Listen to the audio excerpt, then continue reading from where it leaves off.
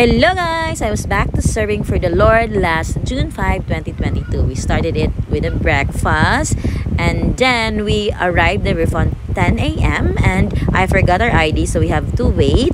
Then thankfully the husband, thank you husband for taking care of Onyara while I was doing the volunteering. So this is Citichurch in Sky Hall and this is the kids church. So um, we left Onyara there and then thank you so much. I saw my um, ladies from our fusion couples and then this is me doing the service i really wanted to just focus on my ushering but i couldn't stop myself from taking pictures because i really want to remember that it's been so hard to just go back to serving and i'm just so happy that the lord jesus has been has been so so great in giving me this opportunity to serve. So i am so blessed and i feel like um so blessed with the message as well that selfie trap and then aside from that you may head to Citichurch for um, that um,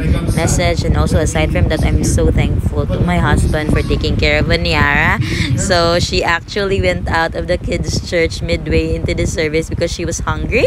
So uh, the husband did that. And then um, this is this was us. After the service we went to our couples life group. So we had a quick chat. So i missed this um beautiful ladies and then also this ate Leila. She, she has a birthday and um, I took a picture of her and then of course this is Onyara. She's playing outside and after that we went to French Baker for lunch where we saw my wife's life group too. So look at Onyara and his daddy having fun. So these are my wives as well. So we also saw the dinosaur. Like um, Onyara was very excited, but the daddy, we didn't um, went into the dinosaur until uh, so many people is uh, touching it already. So we just decided to let it go.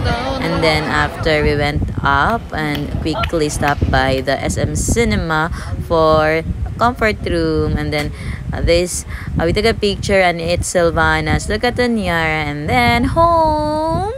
So daddy went on board game so we had this for dinner